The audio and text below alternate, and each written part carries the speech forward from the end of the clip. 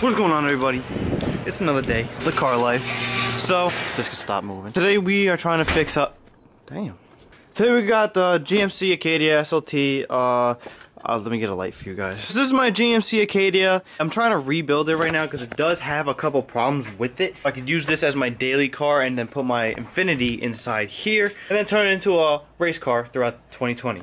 So what I'm trying to fix here is this needed a temperature sensor and then it needed a it might need a transmission speed sensor, crankshaft sensor, however you want to call it. But that is inside the transmission right there, if you guys could see. And that is really hard. That requires taking me this bumper off again. Requires me taking clearing up all there just so I can get to that pan. You can see right there is the brake resistance sensor. Hopefully that's the switch that will make the stability StabiliTrak and everything else go off rather than the speed sensor. The battery did die.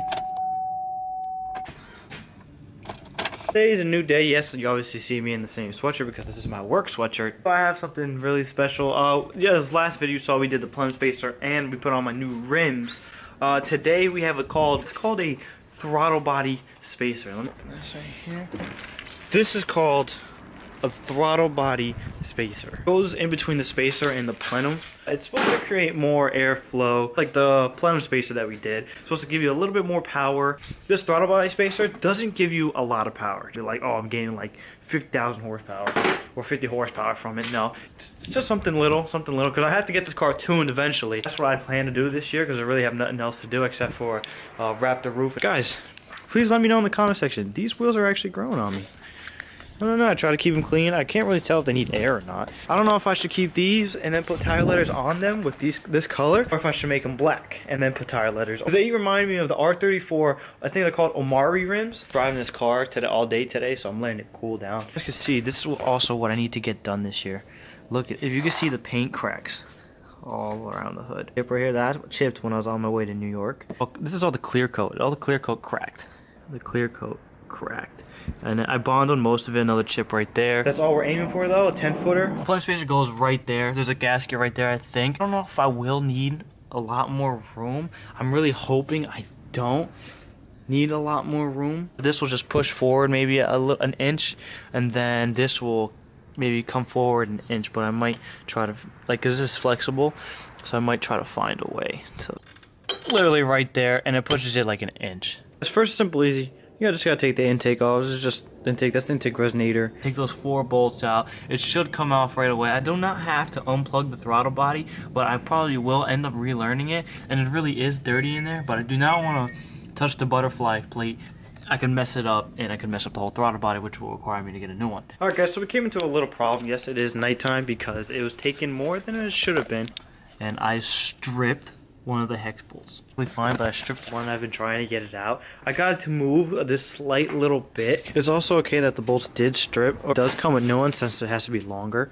Extractor set, I just picked it up. This is the what the set I used.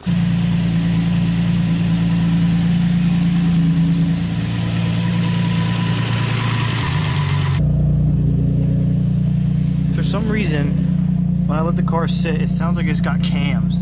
How warm yet? Look, see?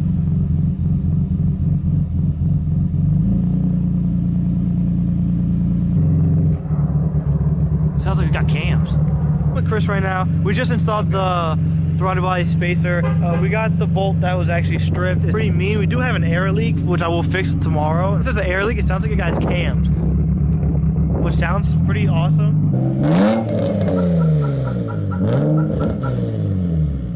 Here with day two of the car. I'm recording my phone right now because my camera is actually acting up for some reason. I don't know why it's not turning on. And, and what also sucks about this hood, it starts chipping at it, so I gotta get like a Sharpie and color it in. Okay, so it's leaking actually down here. I don't know if you guys can see if this.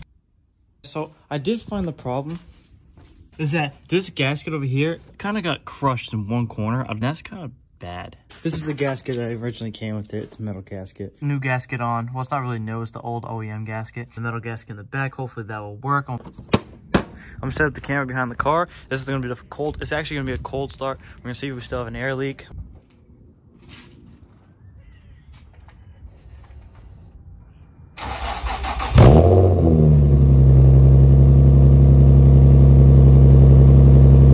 So far, so good.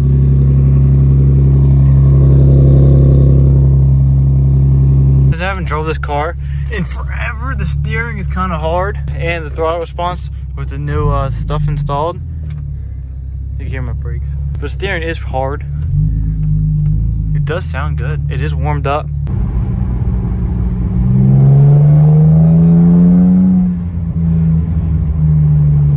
It's getting there. It's getting there.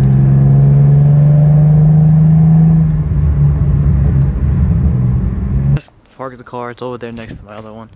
Uh, it did do better. The engine light is not on. Um, this is actually being recorded on my camera right now. Uh, no engine light, no nothing. So eventually this year it's gonna go on the dyno, and we are gonna see how much power it's actually making. But it's supposed to be with this uh, new throttle body spacer. It's supposed to be four horsepower and more torque.